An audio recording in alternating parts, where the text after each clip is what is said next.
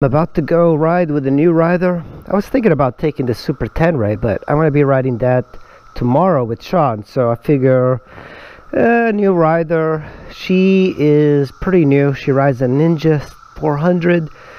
So I'm not exactly sure. So look at this cicada. Look at this cicada on my wheel. You got to get out of here before I run you over, buddy. Look at that. There's cicadas everywhere. If you can't hear it, look, another one there. They're just everywhere. All right, let's uh, pull into Burtonsville. How's it going? All right, we are on our way off of Burtonsville. What I like about meeting in Burtonsville is that it puts you out in the countryside in a matter of miles. That's why Burtonsville is always a good place if you want to ride northern Maryland. So I'm kind of when I uh, ride with new riders, I kind of like assess them a little bit. So I'm looking behind to see how she rides or he rides around corners and stuff.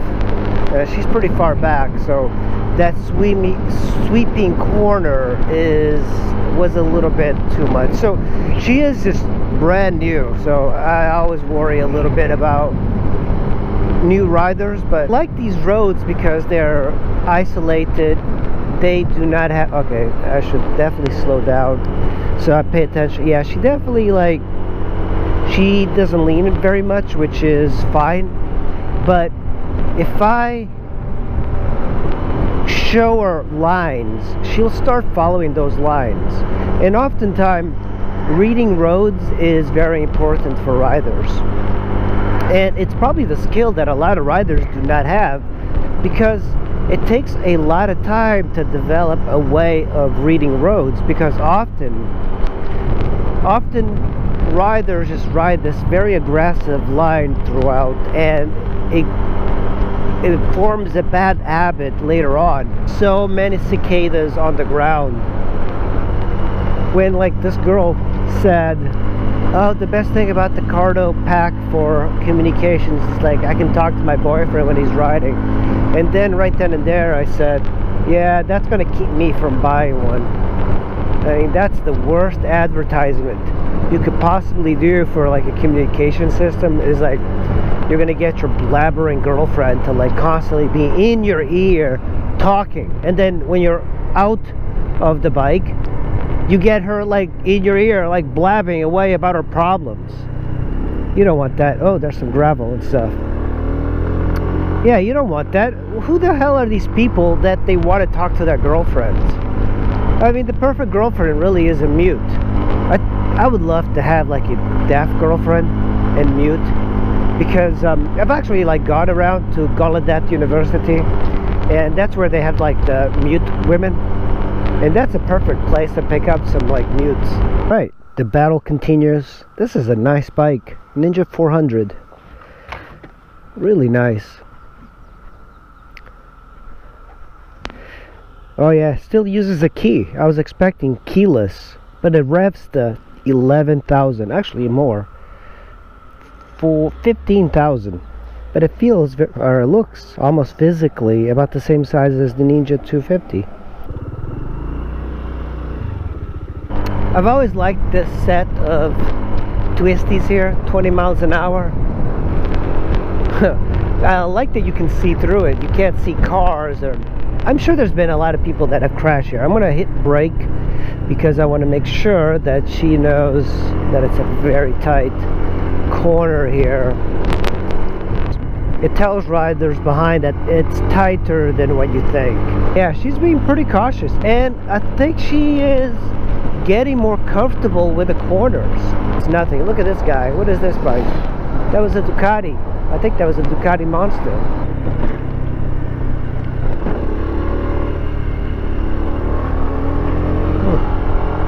Nice house. 15 mile an hour, one lane bridge. So I'm going to make sure that I slow down quite a bit and there's a car coming. I, uh, I have to let that car go. But that's, I love these bridges. Look at that. So cool. It's always fun. It was nice that he was letting me through, but we're in Frederick. I actually did not want to go through the downtown, but when in Rome or in Frederick, I try to avoid this area. Yeah, that's a nice restaurant. I've eaten there once. There's the police. I'm glad they didn't defund the police here. So I guess we'll just run the entire way of the main street in Frederick. Restaurants, everything's bouncing back. This virus, man. So, if you could just stop it, how far away is the, the place from here? I don't know. Because uh, we're taking back roads, so it's harder. Oh. Very, very. Oh, look at that unicorn. That Honda Element unicorn. All right, I am off to High Rock and maybe even beyond, all by myself. Yeah, I think um, this might have been too much riding for her. I don't think she's used to this these longer sort of rides. So there's not much I can do because this is actually kind of like a short ride for me. But we're off and I guess we don't have a restriction on the the size and the speed now so I can go a little bit faster. I really love Frederick. Like I was just in the city and then into the suburbs and now I am riding around the countryside. Look how beautiful this area is. And you know Frederick has got a backdrop of the of the mountains. You see that over there? Those are the mountains. They're not these super high mountains, but they're amazing looking. Especially where where you're in a different part of the area. Where if you're in DC, you don't have much to look at. Sneak up on you.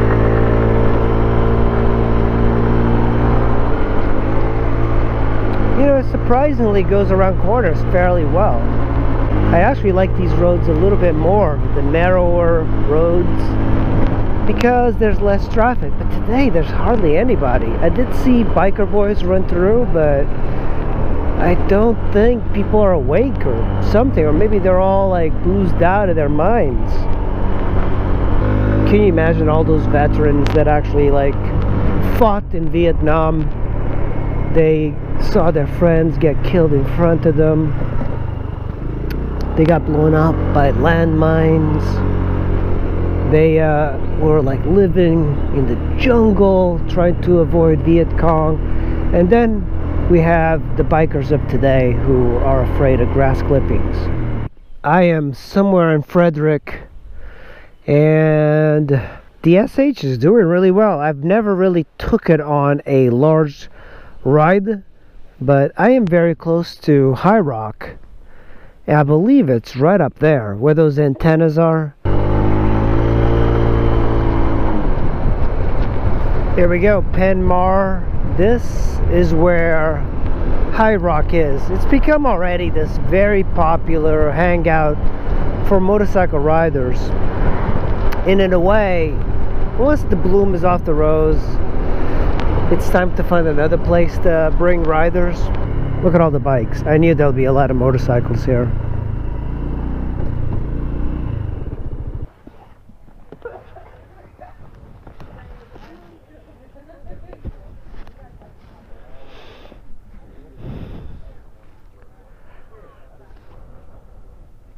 So that's pretty much what High Rock's all about. It's become kind of like a social gathering for motorcyclists to come over here because it's such a nice ride here. Come to Pennsylvania. Ah, we're in Pennsylvania. Who knew? This is Pennsylvania. I actually never even paid attention to that. What's over here? At 100 miles an hour, it's kind of hard to see. Look at this barn. That is awesome. Somebody converted a barn into a house. Probably that lady. Another one lane bridge. Yeah, this one's not as epic. Smithsboro. This is called Smithsboro. Very cute. Looks like uh, something out of the Civil War.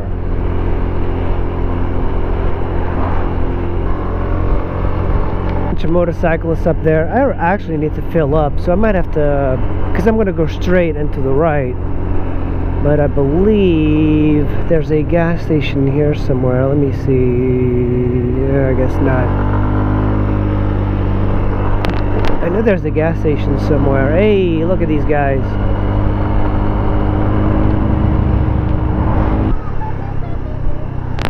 Oh, that kid fell. You know the worst thing about riding in a time that's really nice, like good weather?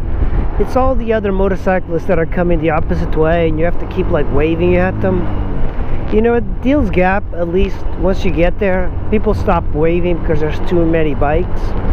But it reminds me of Europe. Like when guys go from here there, they start waving at people, but none of the motorcycle riders really wave back at you because they ride all year round and they're used to like just behaving like a car would first fill up actually second fill up 129 miles on 1.1 gallon it has a really pretty these guys didn't even wave at me jackwads this is quite a difference between say PG County, Capitol Heights, Fairmount Heights, and this. I love how clean this is compared to the area I live in. People don't throw trash. Like, there's no trash on the road. Have you noticed that? Whenever I go by Capitol Heights, it's like trash everywhere. It, it makes no sense. It's like, why are you throwing trash on the road? Beautiful. Like, everybody's out riding bicycles and motorcycles, and they're hogs. Roddy Road Covered Bridge. Gotta mark this down. Very nice. Oh yeah, yeah, I stopped here one time.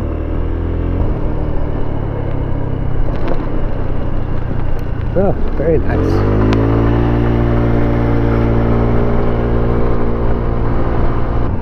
Thurmont. And this is the main intersection. When, whenever you come into a town, there's always like a little downtown area. And this is it. It's the junction of Route 77 and whatever this is, 550 I think. Lots that a lot of Trump signs, man. I actually like this little section here too. By just taking photos of the bridge. Oh, lots of motorcycles. Loy's Station Covered Bridge. Oh yeah, look at that. They have little barbecues there.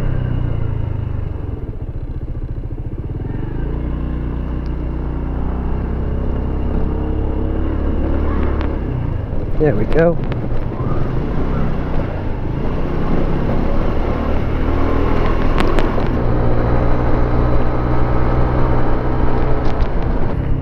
This one has been under construction for a while. This this is Utica Utica Bridge off of Old Frederick Road.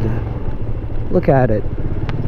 And it's pretty cool looking. I kind of want to take a photo, but look at that. These people even have a shed that matches the bridge. Bridges like this. Oh man, that is so nice. So nice.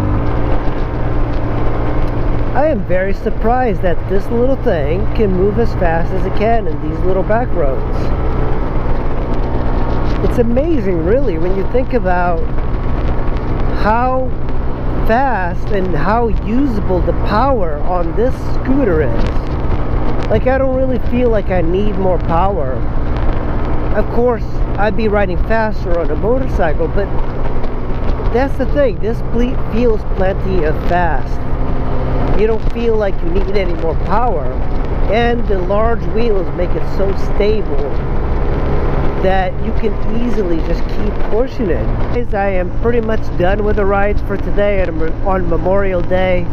And let me see how many miles I've gotten. 189 so by the time I get home I'll probably have 195 miles. That's almost 200 miles on this thing that's incredible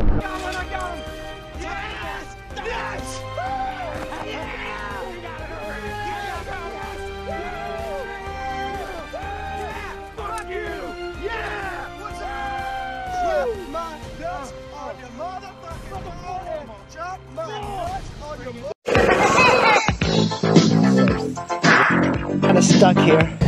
The cops won't bother me.